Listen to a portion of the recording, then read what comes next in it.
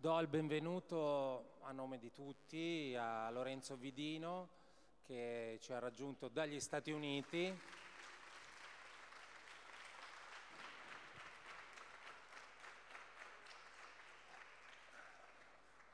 Ehm, eh, stavo dicendo prima a lui che avevo sentito parlare del suo nome um, anni fa, quando uh, per i nostri giri eh, diciamo di contatti e relazioni un po' per il mondo, eravamo capitati a dialogare con l'allora ambasciatore italiano presso gli Stati Uniti e diceva ah ma se vuoi capire qualcosa mi ha detto di quello che succede in Europa leggi questo mi ha dato il titolo di un libro che poi ho ricercato che esiste solo in inglese e forse in arabo nel frattempo mi ha detto ma non in italiano e che era dedicato alla all'estremismo eh, islamico in Europa. Era uno, credo, dei primissimi dei, studi eh, ampi e, e, articolati su quello, su, nel, nel, panorama europeo e mi sono imbattuto appunto per la prima volta in questo nome che poi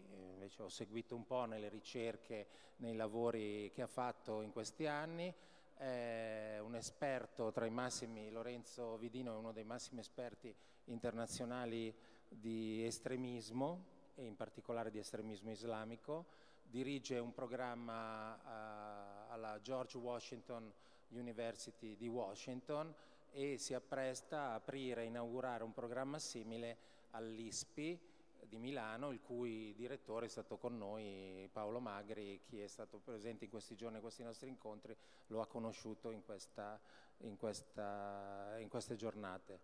Eh, dicevo, è un esperto di islamismo in Europa e negli Stati Uniti, in Occidente in generale e ha fatto parte, e sta tuttora facendo parte della commissione eh, di studio sul fenomeno della radicalizzazione dell'estremismo jihadista a Palazzo Chigi, cioè presso la nostra Presidenza del Consiglio. Commissione che ha fatto tutto un lavoro preparatorio e che è sfociato in una, proposta, in una legge che ha passato l'esame della Camera, adesso sperando nella vicenda della turbolenta politica italiana eh, passerà all'esame del Senato, speriamo, pensiamo in questo autunno. Quindi davvero do il benvenuto per questa fatica che si è sobbarcato nel venire qui e nel poter eh, dialogare con noi su queste tematiche.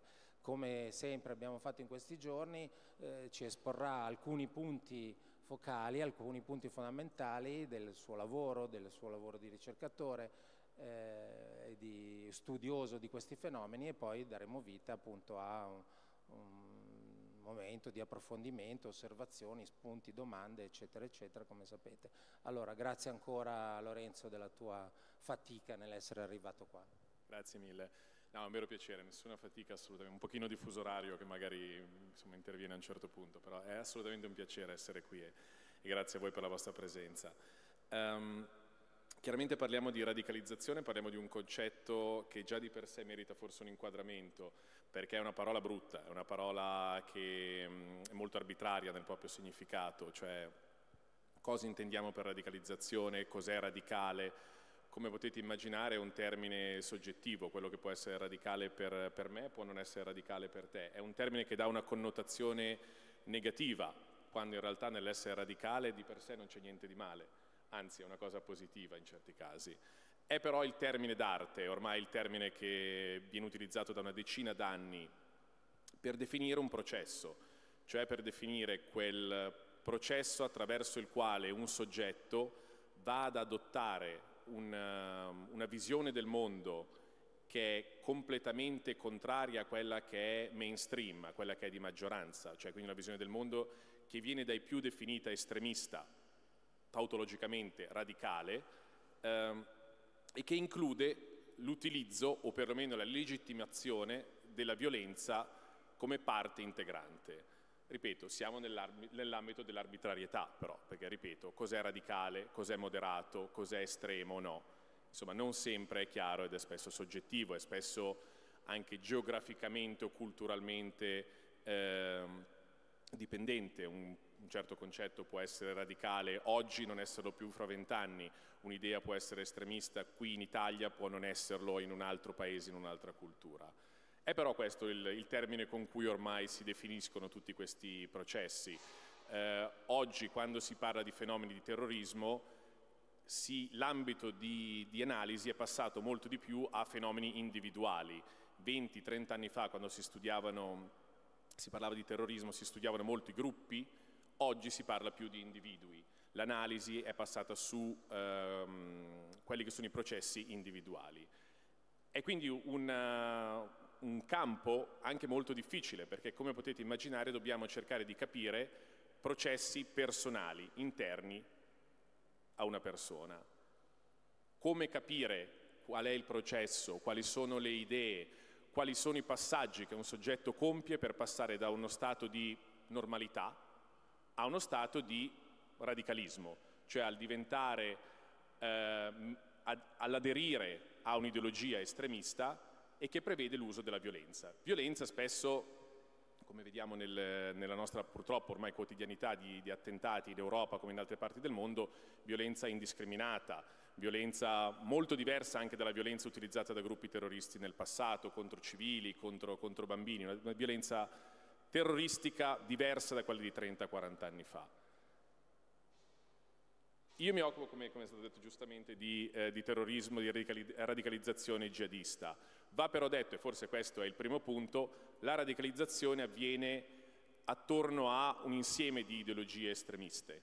Non c'è un'esclusività della radicalizzazione jihadista. Si può parlare di radicalizzazione ispirata dall'estrema destra, all'estrema sinistra, da altre ideologie. In realtà lavorando negli Stati Uniti in queste ultime settimane il, il, dibattito è stato sulla radicalizzazione di estrema destra. Dopo gli eventi di, di Charlottesville si è visto che sì, è vero, l'estremismo dello Stato islamico ha colpito anche negli Stati Uniti, anche se meno che in Europa, però esiste un, un uh, fenomeno di radicalizzazione di estrema destra negli Stati Uniti molto importante. I processi sono simili, il processo in cui un soggetto si avvicina all'idea di... Um, di questi gruppi estremisti di destra è in certi casi molto simile al modo in cui un soggetto, spesso di, di origine musulmana, si avvicina all'ideologia jihadista. Quindi ci sono chiaramente delle peculiarità legate a ogni ideologia, ma ci sono delle similitudini, processi di radicalizzazione si assomigliano. Detto ciò, e qui si arriva a una delle difficoltà di capire, di parlare di radicalizzazione, non esiste un percorso unico di radicalizzazione non esiste una traiettoria univoca, cioè non esiste il percorso standard, si parte così e si arriva così. Il percorso, la traiettoria di radicalizzazione può essere in certi casi brevissima. Abbiamo soggetti, nel mio lavoro mi occupo molto di, di casi di soggetti che vengono arrestati e quindi ho accesso spesso alle carte eh, processuali che spiegano i percorsi di radicalizzazione di questi soggetti e in certi casi abbiamo soggetti che non hanno mai avuto un interesse particolare in un'ideologia estremista, guardano due o tre video su YouTube, diventano amici, spesso anche solo virtualmente, con altri soggetti e tempo una settimana si mobilitano e partono per la Siria per unirsi allo Stato islamico. Quindi percorsi di radicalizzazione flash, di una velocità e di una superficialità impressionanti. Abbiamo invece percorsi di radicalizzazione che possono durare anni, e percorsi di radicalizzazione che sono invece basati su uno studio approfondito dell'ideologia. Quindi si diventa estremisti dopo aver letto scaffali e scaffali di ideologia estremista o dopo aver guardato due video sul proprio cellulare. Non esiste poi un profilo univoco della persona radicalizzata e penso che l'eterogeneità sia probabilmente il fattore principale dei fenomeni di radicalizzazione e in particolare quando parliamo di radicalizzazione jihadista in Europa, che è in sostanza quello di cui ci stiamo occupando e che così tanto riempie le nostre cronache negli ultimi, negli ultimi anni, l'eterogeneità è il fattore principale. Abbiamo soggetti radicalizzati di un'età preadolescenziale. Uno degli ultimi casi che abbiamo visto in Germania è stato di un ragazzino di 12 anni che aveva raccolto su YouTube le istruzioni su come, come costruire delle bombe e per un piccolo piccolo difetto non, non c'era riuscito, ma era praticamente andato vicinissimo al costruire queste bombe, le aveva piazzate davanti al mercatino di Natale di una piccola città tedesca. E abbiamo soggetti sui 50-60 anni. Se vi ricordate l'attentatore del primo attentato di Londra di quest'estate, quello di, sul ponte di Westminster, era un uomo sulla, sulla cinquantina. Abbiamo uomini e donne. Questa è un'altra novità del jihadismo che vediamo oggi eh, se pensiamo all'ideologia jihadista come un'ideologia eh, misogina, ci viene forse difficile pensare a come, a come possa una donna essere attratta a un'ideologia del genere, la realtà è ben diversa. E ad esempio abbiamo in paesi come la Francia ormai il 30-40% dei soggetti arrestati per attività legate al jihadismo sono donne. Abbiamo profili totalmente eterogenei anche per quanto riguarda il background socio-economico. Cioè non esiste anche qui un soggetto, eh, insomma, molti degli assiomi che spesso vengono, vengono citati, eh, terroristi sono poveri, terroristi sono poco istruiti, esistono dei soggetti ehm, che hanno dei livelli di istruzione molto bassi, che sono poco inseriti a livello sociale, a livello familiare, a livello eh, lavorativo ma abbiamo anche un numero molto alto di soggetti radicalizzati che invece sono tutto l'opposto. Hanno titoli universitari, spesso anche avanzati, dottorati, hanno posizioni lavorative eh, di successo, hanno una buona vita familiare, sono pienamente inseriti eh, nelle società eh, in, cui, in, cui, si radicalizzano. Pensiamo al fenomeno nuovo dei, o relativamente nuovo dei convertiti che si radicalizzano che qui chiaramente, questo è un, caveat fondamentale a tutto quello che sto dicendo, parliamo di numeri statisticamente insignificanti. È vero che negli ultimi anni abbiamo visto un relativo boom di radicalizzazione in, in Europa, ma è chiaro che solo una parte statisticamente insignificante di, di, di, musulmani europei è attratta dall'ideologia jihadista. Allo stesso modo abbiamo in ogni paese europeo ormai un numero di convertiti all'Islam molto importante, eh, tra questi una percentuale chiaramente statisticamente molto bassa, però sproporzionata di questi è interessata o viene attratta dall'ideologia jihadista. Quindi pensiamo in paesi come eh, ad esempio gli Stati Uniti, parlavo di Europa ma molte di queste dinamiche sono presenti anche in Nord America, il 40% dei soggetti arrestati per attività di tipo jihadista sono convertiti all'Islam. Eh, anche qui le spiegazioni sono varie su perché possa essere una mancanza della conoscenza della religione islamica e quindi una facilità da parte di reclutatori di portarli su una visione estremista del, eh, e politicizzata della religione. Manca quindi, questa sono una serie di esempi per, giusto per far capire l'eterogeneità del, eh, di quelli che sono i percorsi e i profili dei soggetti radicalizzati. Aprirei un pochino una parentesi, forse questo è il terzo punto nei, nei 4-5 punti che mi avevi chiesto di, di affrontare, sul discorso integrazione, o meglio mancanza di integrazione e eh, il rapporto con la radicalizzazione. Questo chiaramente è dis discorso specifico al, alla radicalizzazione di stampo jihadista che vediamo in, in Europa. E direi che chiaramente esiste un, un livello di analisi che vede la mancanza di integrazione della quale indubbiamente e sfortunatamente soffrono una parte importante delle comunità islamiche eh, presenti nei vari paesi europei, vedono in questa situazione di disagio un legame a stretto filo con la radicalizzazione. È chiaro che è un'analisi che di primo pelo, di primo acchitto, è molto logica. Non sono soggetti ben integrati, quindi ci sono fenomeni di radicalizzazione. Se però guardiamo attentamente i dati, cominciamo ad analizzare un pochino le, certe situazioni, cominciamo a vedere che questa teoria perde un pochino di validità, diciamo che vacilla. Ciò non, con ciò non voglio dire che la condizione sociale, una condizione di integrazione o di mancanza di integrazione non abbia un impatto sulla radicalizzazione, ma voglio dire che esistono anche altri fattori. Cominciamo a farla vacillare un pochino questa teoria. Come abbiamo visto c'è stata negli ultimi anni una forte mobilitazione dall'Europa verso la Siria e l'Iraq, cioè sono partiti dall'Europa un numero senza precedenti dal punto di vista storico di, dei cosiddetti foreign fighters, di soggetti attratti dallo Stato islamico e da altri gruppi che sono andati in Siria e in Iraq a combattere con l'ISIS, con questi altri gruppi. Si parla di stime dell'Unione Europea, 6.000 soggetti che sono partiti dall'Europa. Numeri, ripeto, statisticamente bassi per una popolazione europea di 25 milioni di, di musulmani, però chiaramente un numero importante di, di soggetti. Se vediamo, questi soggetti, questi 6.000 soggetti, non sono distribuiti nei vari paesi europei in maniera proporzionale a seconda della popolazione, ma in maniera molto, molto diversa e, e questo sembra un paradosso, i paesi che hanno contribuito un numero più alto proporzionalmente o in, numero, o in, o, o in modo assoluto di foreign fighter sono i paesi del centro-nord Europa, cioè i paesi che in realtà investono di più nell'integrazione e che giudicando quelli che sono, poi chiaramente capire cos'è un buon livello di integrazione è, è, soggettivo, però se guardiamo a quelli che sono i fattori tradizionalmente usati per giudicare l'integrazione, accesso all'istruzione, reddito, conoscenza linguistica, paesi del scandinavi, ad esempio, eh, sono paesi migliori, più virtuosi dei paesi del sud Europa insomma, i, i, migranti lo sanno bene e quotidianamente optano per la direzione nord, non vogliono certo rimanere in Grecia, in Italia e in Spagna, ma vogliono chiaramente andare nei paesi del nord, eh, centro-nord Europa.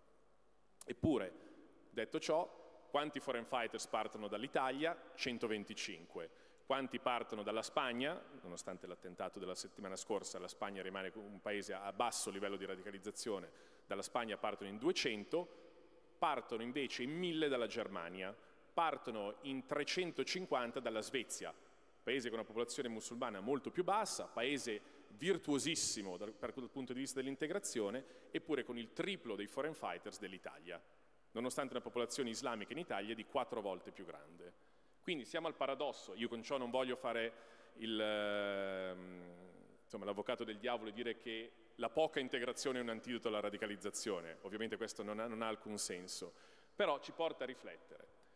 Se poi guardiamo nei singoli paesi eh, europei o anche in Italia, vediamo che poi i vari foreign fighters non sono distribuiti sul territorio nazionale, o meglio non provengono eh, dal... Non, sono distribuiti attraverso il territorio nazionale in maniera omogenea. Esempio, si è molto parlato di Belgio, Chiaramente il Belgio è il, il paese che con gli attentati di, di Parigi, Bataclan e di Bruxelles eh, è andato nell'occhio del ciclone come paese che ha contribuito più foreign fighters di ogni altro paese, paese in cui l'antiterrorismo ha avuto dei seri problemi. Partono dal Belgio appunto 600 soggetti, numero per, eh, proporzionalmente più alto d'Europa. Se però guardiamo una mappa del Belgio con la provenienza di questi soggetti, vediamo che i foreign fighters del Belgio vengono da tre città. Vengono da Bruxelles, vengono da Anversa e vengono da una piccola cittadina a metà strada tra Bruxelles e Anversa che si chiama Filford, cittadina di 40-50 mila abitanti dalla quale vengono 60 foreign fighters. È Filford particolarmente problematica? No, si danno spesso due analisi su perché ci si radicalizzi, si dice è mancanza di integrazione e è una questione di internet, ci si radicalizza online. Phil Ford da ogni punto di vista non è differente da una serie di altre cittadine del Belgio e non è che a Phil Ford ci sia un accesso a, di wifi migliore che in un'altra cittadina del Belgio, non è che ci sia più internet a Phil Ford che in altre cittadine. Es esiste però in queste tre città una scena, una catena, una filiera di reclutamento per, Belgio, per, per la Siria e per l'Iraq. Quindi non è tanto una questione di marginalizzazione delle comunità islamiche del Belgio, o meglio, esistono dei forti problemi di marginalizzazione delle comunità islamiche nel Belgio, ma questi sono ovunque, non sono più forti ad Anversa, a Bruxelles o a Vilforde rispetto a Ghent, Bruges eh, o altre città del Belgio. Quel livello di integrazione che è comune a tutto il Belgio può creare un sostrato, eh, un humus fertile per la radicalizzazione è però chiaro che intervengono altri fattori e spesso sono la presenza di catene di reclutamento, di soggetti quali predicatori, di reclutatori che costruiscono su quell'humus, su quel sostrato e portano alla radicalizzazione. Piccolo esempio italiano molto locale, in realtà molto romagnolo, eh, qual è la capitale italiana dei foreign fighters? Ravenna, città eh, negli standard molto bassi italiani, ripeto dall'Italia partono 125 foreign fighters, eh, partono in circa 10 da Milano, 4 o 5 da Roma, 12 da Ravenna.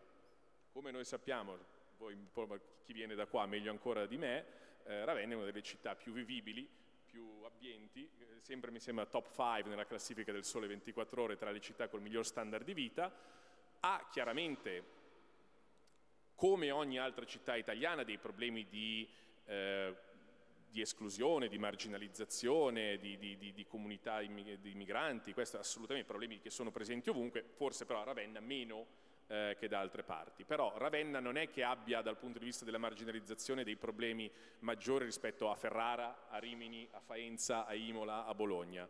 È chiaro che l'elemento determinante è un qualcos'altro e quel qualcos'altro è spesso la presenza di un soggetto radicalizzatore.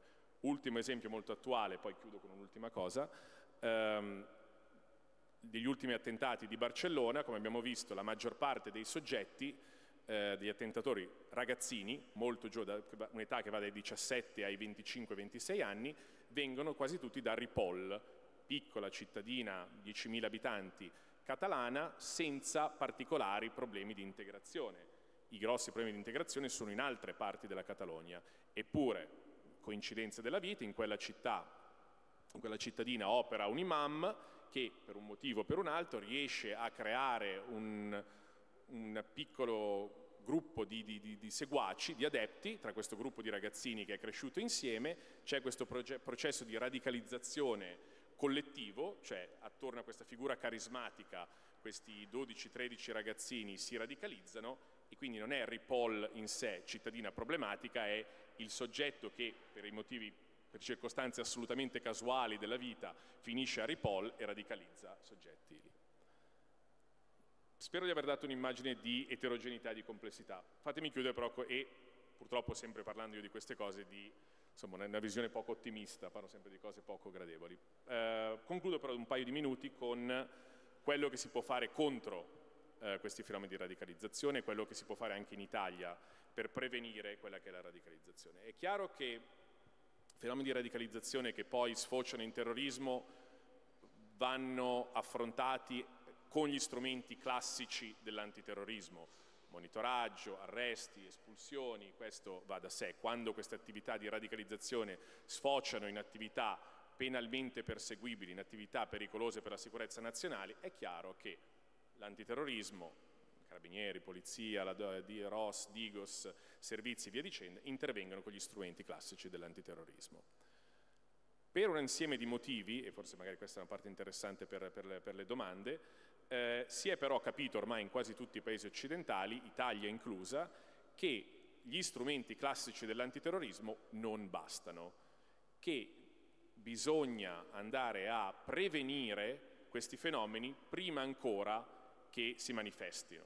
Bisogna andare a, a lavorare insieme alla società civile, insieme alle comunità, insieme al mondo della scuola, insieme al mondo dell'assistenza, insieme eh, a una serie di, di operatori, insieme a tutti quei soggetti che hanno a che fare con giovani che possono potenzialmente radicalizzarsi per compiere un'azione di prevenzione della radicalizzazione o in certi casi deradicalizzazione. Cioè un altro del, dei discorsi importanti dell'antiterrorismo di questo periodo è come deradicalizzare soggetti che si sono radicalizzati, come ad esempio deradicalizzare foreign fighters che ritornano da uno scenario di conflitto come quello siriano-iracheno. Um, in Europa si lavora su queste dinamiche da una decina d'anni, in Italia siamo un pochino indietro, parzialmente perché i fenomeni di radicalizzazione sono stati ridotti rispetto ad altri paesi europei, ma si, si sta muovendo un qualcosa. A luglio è passata, come, come è stato ricordato prima, una, la, la, la, legge, perlomeno alla Camera, poi dovrà essere approvata anche al Senato, che prevede la prima strategia italiana di prevenzione della radicalizzazione e che giustamente prevede un'inclusione della società civile nella prevenzione dei fenomeni di radicalizzazione, cioè si sposta parzialmente l'onere della prevenzione della radicalizzazione e quindi dell'antiterrorismo in generale dal, dall'essere interamente onere del, degli attori classici dell'antiterrorismo, polizia, servizi e via dicendo, a un partenariato tra questi organi e la società civile. Cioè si capisce che non può essere solo la polizia, non possono essere solo i servizi a lavorare su questo tipo di dinamiche, che sono dinamiche che colpiscono tutta la società e che richiedono un aiuto, chiaramente basato su regole chiare, su una condivisione e su un rapporto fiduciario tra Stato e società civile. Questa è ormai la dinamica eh, ormai chiara e ormai abbastanza standardizzata in paesi europei, sta arrivando in Italia e forse questo è il dibattito grosso del, in, in, seno all'antiterrorismo per i prossimi anni. Io chiudo qui. Bene. Grazie, ci sono state cose veramente interessanti, punti di vista assolutamente inediti per tanti di noi, me compreso, perciò penso che ci sia molta materia sulla quale chiedere approfondimenti o sviluppare spunti, osservazioni, quindi chi le ha le faccia subito. Buonasera, eh, io volevo chiedere, rispetto a questi soggetti radicalizzatori di cui ha parlato, che sono più presenti nel nord Europa, cioè, adesso questa forse è un'inferenza mia, che comunque lei ha detto essere degli elementi determinanti, ehm, per quale motivo secondo lei sono meno presenti in Italia o se sono meno presenti in Italia rispetto al resto? Grazie.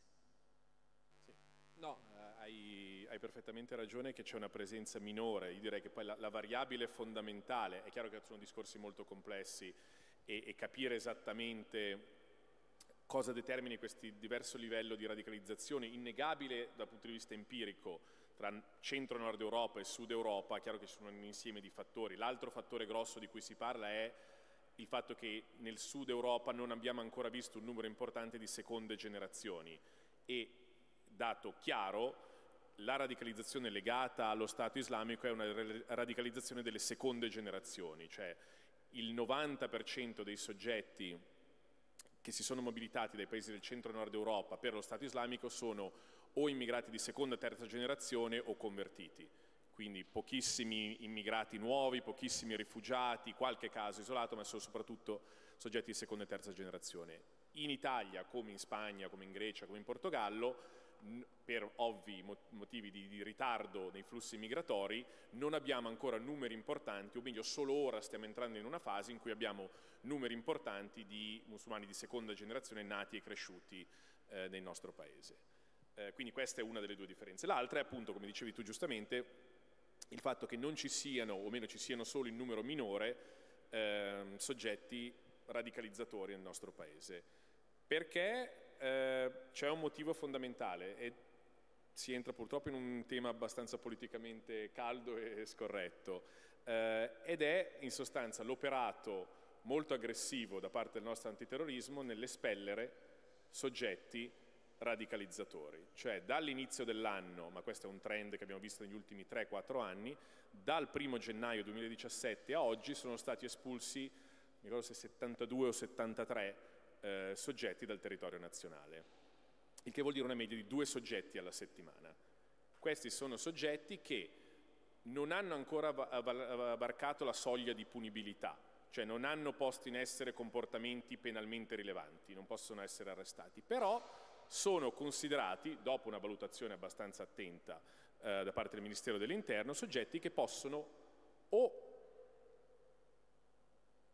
azionarsi, mobilitarsi dal, da un momento all'altro, ed è questa la dinamica che abbiamo visto per, tutti, per molti degli attentati degli ultimi anni in Europa, cioè soggetti imprevedibili, magari noti per avere qualche tendenza estremista e che dall'oggi al domani si attivano e compiono attentato, oppure soggetti che fanno questa azione di predicazione, di radicalizzazione di altri soggetti, azione che di per sé non è spesso penalmente rilevante, Giustamente viviamo in delle, demo, delle democrazie in cui esiste libertà di parola, poi chiaramente le leggi cambiano da paese a paese, però io ho la libertà di dire che, società, che lo Stato islamico è un gruppo che io reputo splendido, ho il diritto di dire che eh, è giusto che l'Islam trionfi sopra ogni altra religione, è giusto anche dire che è giusto ammazzare infedeli. Queste sono, come giusto che sia, eh, idee riprovevoli, però legalmente legalmente accettabili. Quello che però può fare lo Stato italiano è espellere questi soggetti in base a una legge del 2005 attraverso un decreto del, Ministro in cui si espellono soggetti per motivi di sicurezza nazionale e questo strumento è stato utilizzato in abbondanza. È chiaro che la differenza nei paesi del centro e nord Europa è che la maggior parte di questi soggetti hanno la cittadinanza di quei paesi e quindi non possono, la maggior parte, la maggior parte chiaramente, non tutti.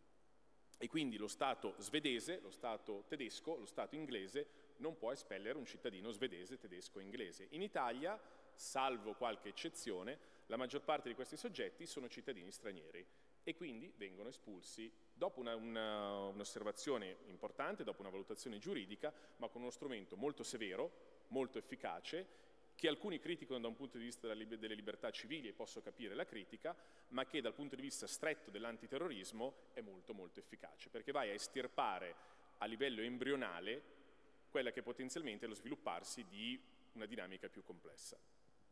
Grazie. Laggiù. Buongiorno, io ho letto i suoi articoli e le sue pubblicazioni riguardo allo jihadismo nei Balcani.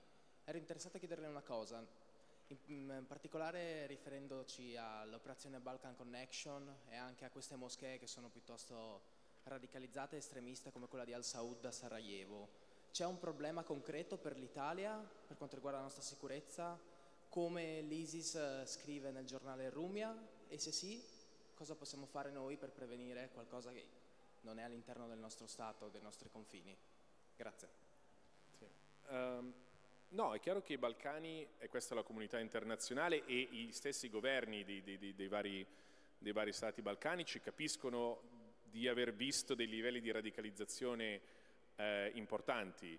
Um, Kosovo, Albania, Bosnia hanno visto, parti della Serbia con Sanjak hanno visto dei livelli di radicalizzazione importanti, sono paesi in cui Chiaramente le dinamiche di radicalizzazione sono diverse da quelle dei paesi dell'Europa occidentale, questioni di, di, di, povertà, di mancanza di opportunità sono importanti, perché è vero che molti soggetti partono da questi paesi, non è sempre solo una questione di, di soldi, di mancanza di lavoro, però è anche vero che alcuni soggetti partono da questi paesi perché comunque ti paga, è un'opportunità, eh, quindi è un mix di, ideologia e di, ehm, di vantaggio. Eh, sono paesi che per delle debolezze politiche eh, interne hanno dei forti problemi a intervenire in maniera, in maniera efficace, insomma ce, li hanno tutti i paesi dell'Europa occidentale questi, questi, problemi, figuriamoci questi, i paesi, eh, paesi, balcanici. Sono poi paesi oltretutto che per una questione puramente geografica sono più vicini all'area di conflitto e penso in un periodo in cui la preoccupazione grossa è quella, o una delle preoccupazioni grosse è quella del ritorno dei foreign fighters dallo scenario iracheno-siriano, nel momento in cui l'ISIS sta progressivamente perdendo territorialità e subendo sconfitte sul campo, il fenomeno è quello del ritorno dei, eh, dei, foreign fighters. È chiaro che paesi che hanno dei problemi di controllo del proprio territorio e che sono però la porta all'Europa occidentale sono problematici. Eh,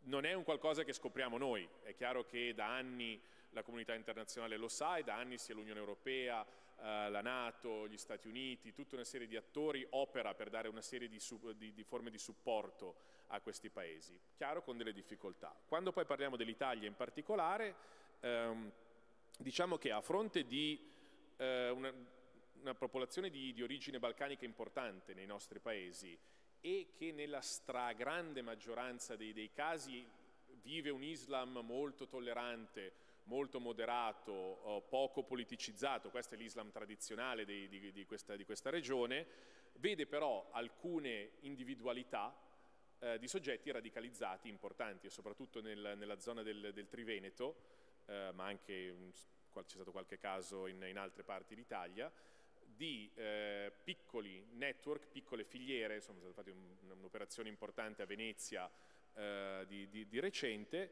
eh, di soggetti legati a stretto filo a reclutatori importanti nei Balcani che sono stati un po' eh, i, insomma, i, reclutatori per la scena jihadista italiana, cioè la scena jihadista italiana rimane molto amatoriale, molto eh, poco sofisticata rispetto a quelli dei paesi del centro e nord Europa, i kosovari, gli albanesi in particolare, i macedoni, sono stati spesso invece gli attori più sofisticati, diventando reclutatori non solo di connazionali ma anche ad esempio di nordafricani.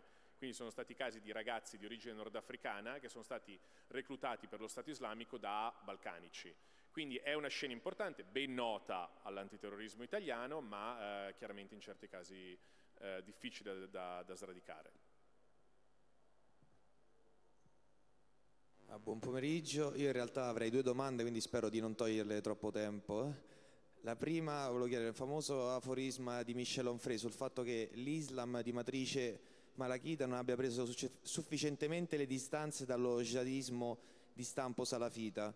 La seconda, volevo riallacciarmi ad una parte del suo discorso relativamente al, al nord Europa virtuoso e al tanto vituperato sud Europa, in particolare sul fatto che nel codice di procedura penale belga non era prevista la perquisizione tra le 3 e le 6 del mattino, il quale è una scriminante puntuale e un esimente che sul piano concreto mi sembra abbastanza rilevante. Volevo sapere se lei aveva anche letto l'articolo del Guardian sul fatto che in Italia non ci sono stati ancora attentati terroristici per il fatto che il terrorismo degli anni di piombo abbia inciso in maniera puntuale sulla legislazione italiana. La ringrazio.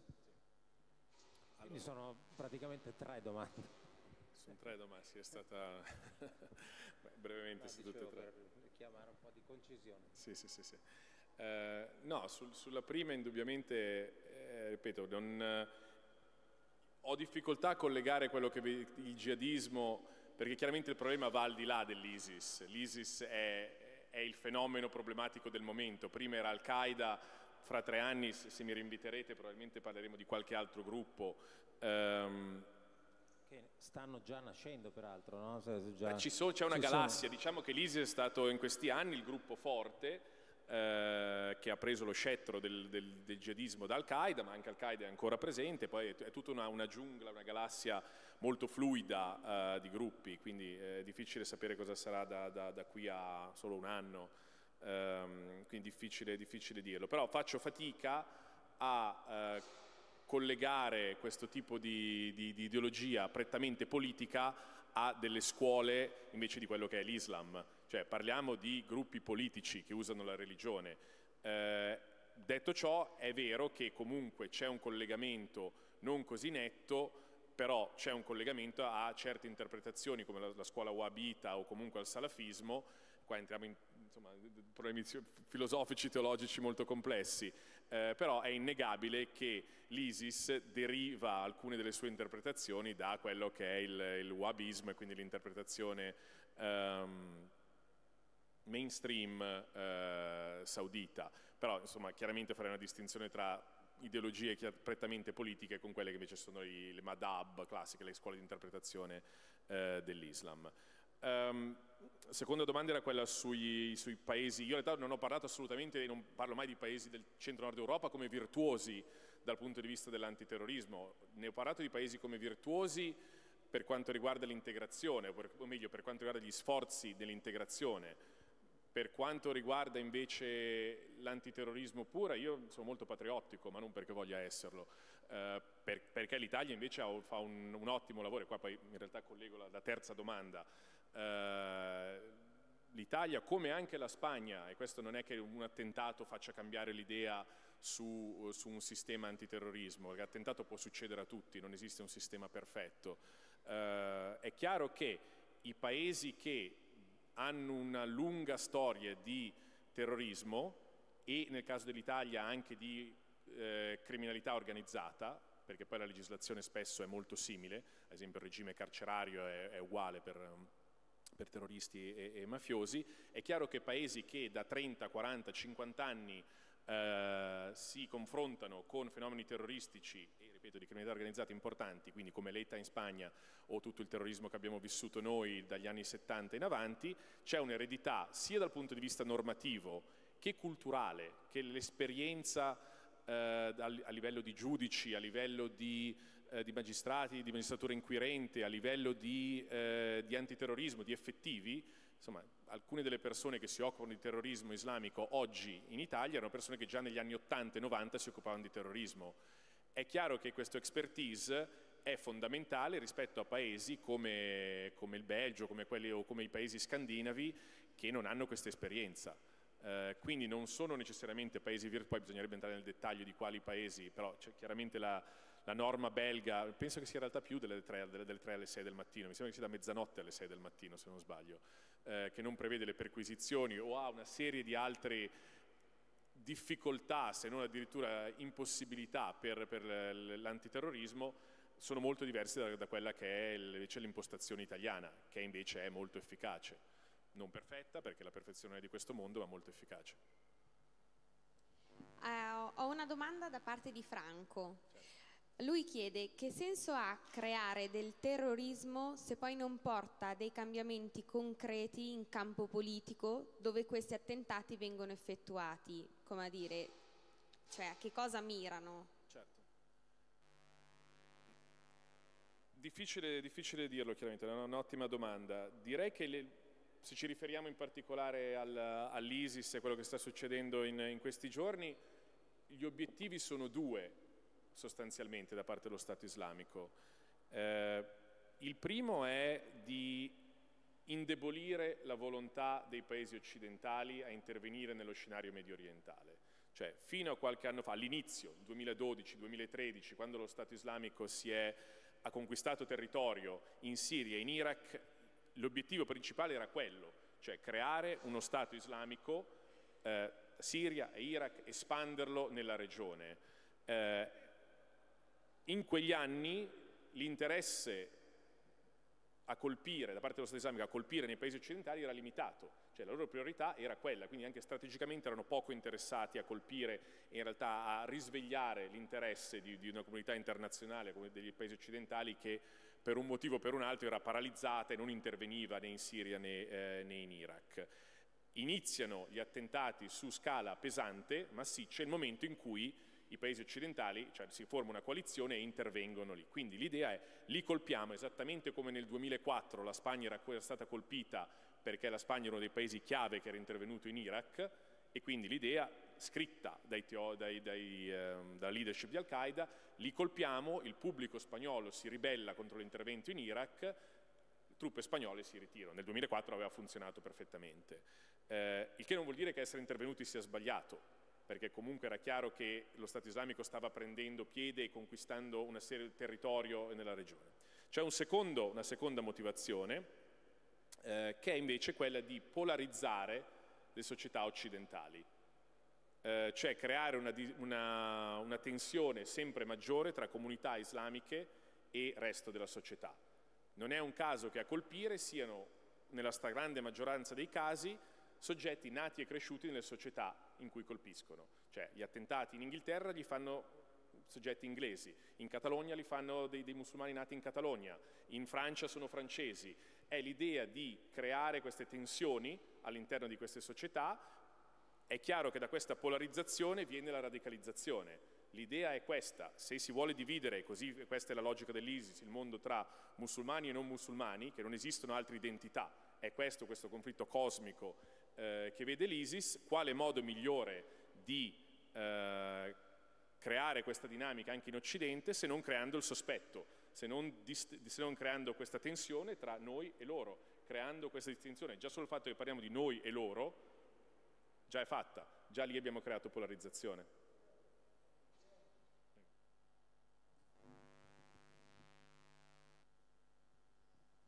Riguardo all'ultimo punto di cui abbiamo parlato, cioè la mh, prevenzione e correzione della, della, radicalizzazione nel momento in cui i foreign fighters tornano dalla Siria, dall'Iraq, insomma. Eh, dal momento che più o meno stiamo diventando sempre più consapevoli del fatto che i motivi che spingono questi individui a, a radicalizzarsi siano molto eterogenei, com'è possibile sviluppare un metodo di prevenzione veramente efficace? Dal momento in cui appunto i motivi sono così svariati e particolari. Era la stessa domanda che avevo io, cioè okay. questi programmi come possono intervenire su ogni singolo caso? Ma è la domanda che hanno tutti. In realtà è, è, difficilissimo dare una risposta, è, è assolutamente la domanda più logica. Eh, vista questa eterogeneità di profili e di motivazioni eh, e di traiettorie nella radicalizzazione, è chiaro che non esiste un approccio univoco per la deradicalizzazione. Eh, è chiaro che quello che funzionerà per il ragazzino quindicenne che è partito anche ingenuamente perché ha visto il conflitto siriano come un'estensione dei videogame che gioca a casa, quindi con un processo mentale anche poco maturo, eh, sarà totalmente diverso per una ragazza di 30 anni che è partita o per un... Eh, cambia, ogni persona è diversa e non esiste un profilo univoco. È chiaro che eh, quello che viene fatto sia a livello di prevenzione, perché insomma, le dinamiche sono due, una è la prevenzione, una è la deradicalizzazione. Um, quello che si fa è chiaramente lavorare molto sull'individuo, cioè fare un'analisi eh, di questi soggetti, di ogni singolo soggetto da un punto di vista psicologico, da un punto di vista personale e capire quali sono i tasti giusti e capire qua, su, a che livello si può intervenire. È chiaro che ormai è la cosa più comune del mondo vedere i classici soggetti dell'antiterrorismo, le spie, l'intelligence con barbe finte e occhiali, è lavorare a stretto filo con eh, gomito a gomito con psicologi e psichiatri. Questa è, è, la realtà. Il che non vuol dire, prima di tutto, non, non, capiamoci, non, non c'è a livello europeo un'ingenuità nel quale si vuole dire che si risolve tutto con, con, con un approccio, con qualche pacca sulla spalla, qualche psicologo eh, e qualche buona parola. Prima di tutto chi torna dalla Siria in Iraq è visto, a ragione o torto, una, come una potenziale minaccia e se si può arrestare viene arrestato tendenzialmente. Il problema è che nella maggior parte dei casi o in un numero importante di casi, per esempio in Belgio il 90% dei, dei 100, soggetti, 100 circa soggetti che sono tornati noti all'intelligence belga come foreign fighter e sono tornati in Belgio, il 90% non è stato arrestato. O perché mancano gli strumenti giuridici, ad esempio partire per eh, uno scenario di guerra non era un reato fino al 2015. La legge penale non può essere retroattiva, chi è partito prima. Secondo, anche per chi è partito dopo ci vogliono le prove. È chiaro che bisogna avere delle prove, un conto è sapere un qualcosa a livello di intelligence, un conto è avere le prove da portare davanti a un giudice, è chiaro che lo standard è diverso, quindi con delle, delle realtà paradossali di soggetti che magari mettono, hanno postato su Facebook le foto proprie eh, in Siria, con, eh, in divisa militare con la K-47, chiaramente di simpatia jihadista ma non vengono arrestati. Perché? Perché qual è il crimine? Postare una propria foto in uno scenario di guerra non è un crimine di per sé. È chiaro che è il segreto di Pulcinella che questo sia unito a qualche milizia jihadista, ma io lo devo provare in un tribunale, cosa non facile. Quindi, per tutte queste difficoltà, se non si può arrestare, si può monitorare, però si cerca anche di, quindi è, è in realtà uno sforzo che viene fatto quasi dalla, per frustrazione, per mancanza di, di quello che è lo strumento primario che sarebbe l'arresto. E quindi si lavora sul deradicalizzare e in certi casi sarà un approccio molto legato a dinamiche familiari, si cerca ad esempio di coinvolgere soprattutto per i soggetti giovani i, i genitori, padri, madri, ci sono molte organizzazioni di genitori ad esempio, ehm, si cerca di appunto spingere su, su tasti personali. Per certi altri soggetti c'è un discorso molto teologico da fare.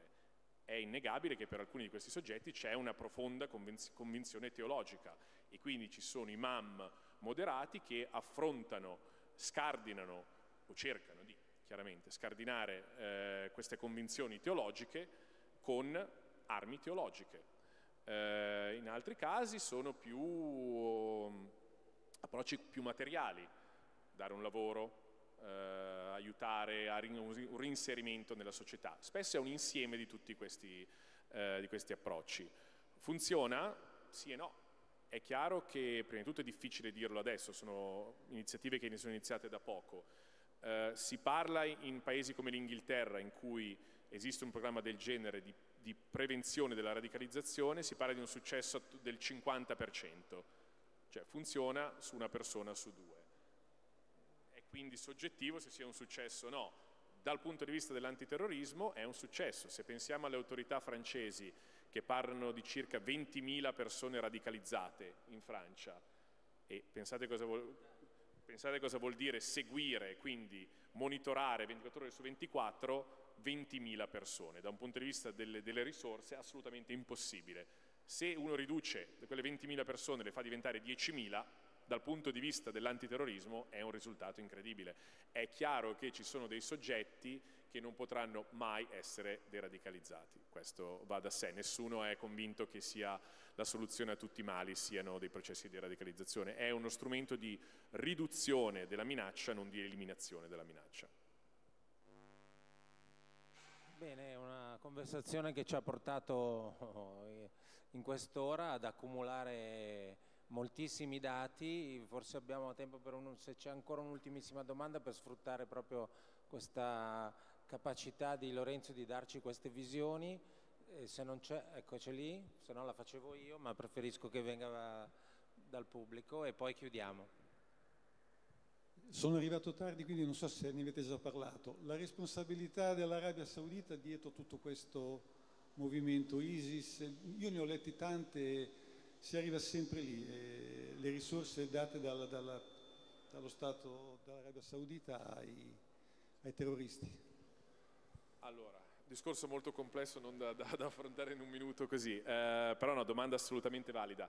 Um, diciamo che l'Arabia Saudita e un paio di altri paesi del Golfo, perché direi che il Qatar e il Kuwait hanno anche un ruolo fondamentale, negli ultimi 40 anni hanno diffuso a livello globale la loro interpretazione tradizionale, che è estremamente conservatrice ed estremamente intollerante politicizzata dell'Islam, eh, grazie ai fondi enormi eh, di cui hanno a disposizione, i famosi petrodollari. Eh, cambiando quella che è la faccia dell'Islam di molti paesi, visto che parlavamo prima ad esempio di Balcani, dicevamo l'Islam dei Balcani è, è tradizionalmente estremamente laico, tollerante moderato, è parzialmente cambiato negli ultimi vent'anni in virtù del, dell'opera di, di insomma loro lo chiamano di, di missione, di dawa, di, di, proselitismo, di introduzione del, de, di un Islam totalmente estraneo, totalmente esogeno rispetto a quello che è l'Islam balcanico, però un Islam endogeno, autoctono, balcanico, privo di fondi, che deve combattere contro un Islam finanziato da quindi di mega moschee, di libri, videocassette, siti, eh, borse di studio per andare a studiare in Arabia Saudita, sponsorizzate da Arabia Saudita, Qatar e, eh, e, Kuwait. È chiaro quindi che questa interpretazione l'Islam ha, non è poi direttamente collegata a gruppi jihadisti, perlomeno a livello statuale. Non, non, non, fa, non c'è un coinvolgimento chiaro tra Arabia Saudita e Stato islamico. È però chiaro che questo tipo di Islam propagato negli ultimi 40 anni è propedeutico all'interpretazione poi successiva che è quella jihadista, cioè si crea un, un tipo di interpretazione dell'Islam talmente intollerante e conservatrice che è poi chiaro che si crea un humus favorevole per chi poi arriva ed è un gradino ancora più in alto e che, eh, che è lo Stato islamico. Devo dire però a essere, insomma, colpo alla botte e un colpo al cerchio, ma è per essere obiettivi, negli ultimi 4-5 anni l'Arabia Saudita è cambiata in maniera importante e negli ultimi mesi c'è stato un cambiamento di leadership importante in Arabia Saudita con dei, ehm, dei passi concreti, tangibili, non solo retorica, di aver capito di aver creato un mostro, chiaramente difficile poi adesso far rientrare questo mostro che si è creato in, in 40 anni, però eh, l'Arabia Saudita è cambiata, quindi insomma, una narrativa che vede l'ISIS come organizzazione creata e finanziata dall'Arabia Saudita è sbagliata. È chiaro che è il prodotto naturale, inevitabile di quel tipo di Islam che si è voluto eh, spingere a livello globale. È chiaro che però oggi l'Arabia Saudita è un paese fondamentale per cercare di riportare il genio nel, questo diabolico genio che è stato creato per riportarlo dentro la, la lampada, perché è chiaro che l'Arabia Saudita è un paese se non altro in virtù del fatto che è il paese custode delle due moschee eh, di, di Mecca e Medina, è un paese fondamentale dal punto di vista geopolitico e ideologico, è un paese fondamentale per cercare di riportare questo genio nella, nella lampada. Io vorrei veramente ringraziare Lorenzo Vidino perché le cose che ci ha detto sono state veramente davvero interessanti e con una uh, capacità di farci individuare dei punti di vista che devo dire è rara. Vorrei sottolineare del, tra le, le cose diciamo, di questa conversazione eh, come dire, in controluce emerge, emergono dei fattori fondamentali che ci interessano e ci riguardano tutti, cioè questo tema ultimo sfiorato della cultura, dell'humus culturale, no? lo dico in controluce rispetto all'argomento di cui abbiamo parlato, ma che ci riguarda perché questo è anche compito di tutti noi, creare, favorire eh, una cultura che vuol dire un tessuto di relazioni, una capacità di pensiero, un uso della ragione no? che può in qualche modo favorire anche la logica della prevenzione e del uh, impedire che delle altre persone vengano attratte, eh, risucchiate da questo mostro. Questo mi sembra un tema fondamentale. E l'altro tema importante che leggo anche qui in controluce è quello dell'educazione, perché in qualche modo tutta questa eh, strategia preventiva e di deradicalizzazione in qualche modo la, noi la possiamo inserire un, sotto il titolo educazione, cioè il concorso eh, di tutte queste forze, di tutte queste persone, di risorse, eccetera, nell'approccio alla persona, perché alla fine il tema è quello, quell'individuo lì, quella storia lì, quella persona lì. E questo non lo puoi solo risolvere con i mezzi dell'antiterrorismo classico, vuol dire eh, in qualche modo no, favorire un approccio diverso a quella persona lì che come tutti, anche nel suo male o nei suoi disegni, nell'oscurità della sua anima, avrà bisogno di risposte che magari ha trovato eh, in altri modi. Perciò in questo senso mi sento di, che questi punti che abbiamo toccato, oltre a farci capire molto di più, in modo molto più interessante, tanti fenomeni che viviamo, in qualche modo ci aiutano anche a capire qualcosa del nostro compito per i prossimi anni. Allora, grazie ancora Lorenzo Vidino, buona giornata. Eh, noi avremo un altro incontro qui alle 18.30 con Antonio Olivier in cui eh, ritorneremo sul tema dei cristiani nelle zone dove vivono eh, condizioni di persecuzione o di discriminazione. Grazie, buon pomeriggio.